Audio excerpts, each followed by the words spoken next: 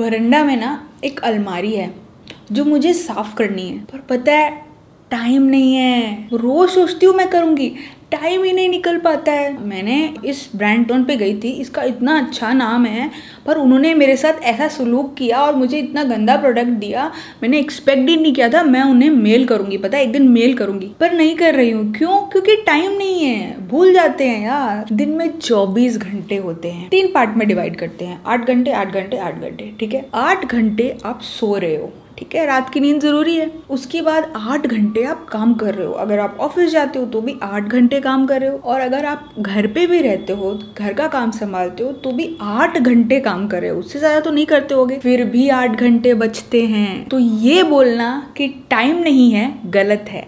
ये बोलना सही है कि टाइम तो है बट हमें टाइम को प्रियोरिटाइज करना नहीं आता है। हमें ये डिज़ाइन करना नहीं आता है कि कौन से काम को पहले प्रेफरेंस दे ताकि हमारा कुछ काम बने। पहले बता दूँ, आपको मैं उन चीज़ों के बारे में बात नहीं करने वाली कि सुबह जल्दी उठो तो टाइम मिल जाएगा आपको टीवी देखना बंद कर दो तो टाइम मिल जाएगा। ये सब कॉमन सी बातें हैं, इसको बोल के कोई मतलब नहीं है। अगर ये हो पाता तो अभी तक हो ही जाता। वैसे इस बात में एक पॉइंट भी है, पता है? अगर अभी मैं आपसे पूछूँ कि कल कसौटी में क्या हुआ था तब आप ठीक बता दोगे, है ना? हाँ तो एक सीरियल देखती हूँ दिन में, वो भी छोड़ दू। दिन भर में किटर किटर किटर से दिमाग खराब हो जाता है। एक सीरियल से मुझे थोड़ा सा रिलीफ मिलता है। उससे भी तुमको प्रॉब्लम है। वो भी छोड़ दे। इतनी परेशानी क्यों है तुम्हें मेरे लाइफ से? ऐसी कोई परेशानी नहीं है। आप आराम से देखो, एक सीरियल ही तो देखते हो।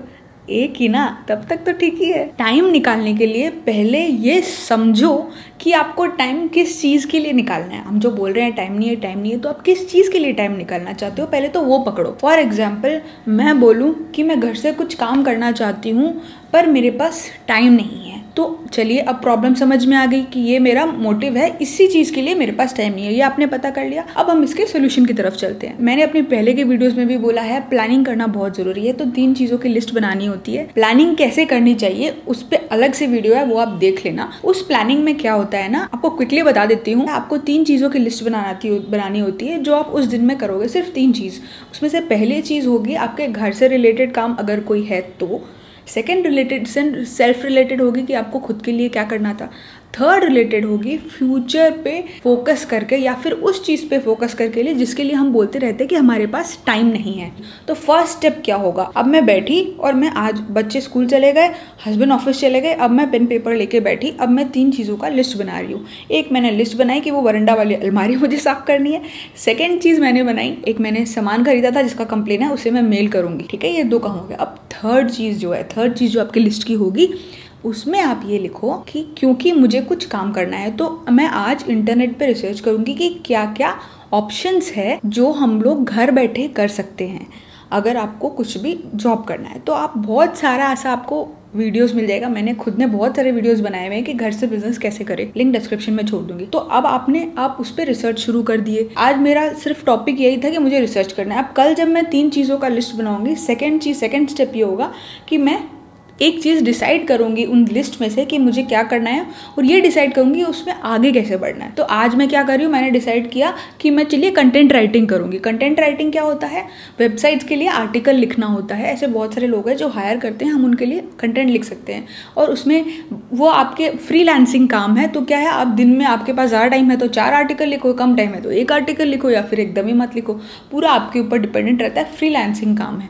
तो ये मेरे लिए एकदम परफेक्ट है, अभी मेरे पास इतना टाइम तो रहता नहीं है तो मैं ये काम कर सकती हूँ। मुझे ऐसा लगा। ठीक है?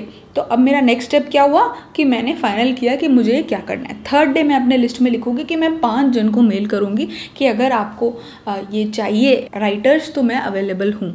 अब मैंने पाँच जगह, पाँच जन को मेल किया। वो पाँच जन मुझे कहाँ से मिले? फेसबुक के ग्रुप से मिले। जो जॉब रिलेटेड ऐप्स होते हैं, जैसे इंडी डॉट कॉम या नौकरी डॉट कॉम वहाँ पर पार्ट टाइम जॉब्स में इस तरह से जॉब्स अवेलेबल रहते वहाँ पर मैंने मेल्स किया, पाँच जन को मेल किया।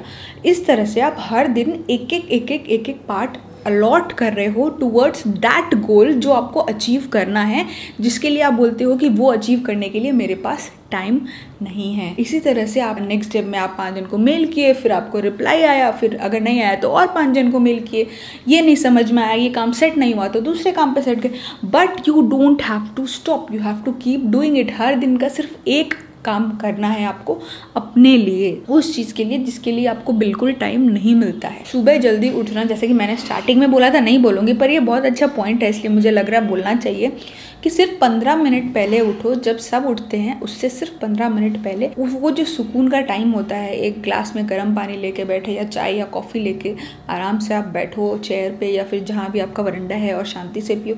It's a very peaceful time for yourself उस टाइम में ना वो जो खाली टाइम है वो पंद्रह मिनट है, उससे मैंने ज़्यादा मत सोचो कि आज मुझे ये काम करना है, आज मुझे ये करना है, आज मुझे वो करना है। लिस्ट बनाना बंद करो। सिर्फ़ शांति से उस कप ऑफ़ टी को एंजॉय करो वहाँ बैठ के। तो एक जो सबसे ज़्यादा हमारा टाइम कंज्यूम करता है, हमारे को हमारे को डिस्ट्रैक्ट करता है टाइम कंज्यूम करने में, वो है सोशल मीडिया वो है अपना मोबाइल फ़ोन जो हम लोग दिन भर ये करते रहते हैं। इस पर मेरा प्रॉपर वीडियो बनाया हुआ है कि मोबाइल फ़ोन का जो एडिक्शन है, वो हम बड़े कैसे छोड़े। उस पर वीडियो है, वो भी डिस्क्रिप्शन में लिंक होगा, आप देख सकते हो। वो कम करने से भी आपको काफ़ी एक्स्ट्रा टाइम मिलना शुरू हो जाएगा। तो बस इतना ही था टाइम ऐसे निकाले। तो उम्मीद है ये वीडियो आपको पसंद आया होगा। Thank you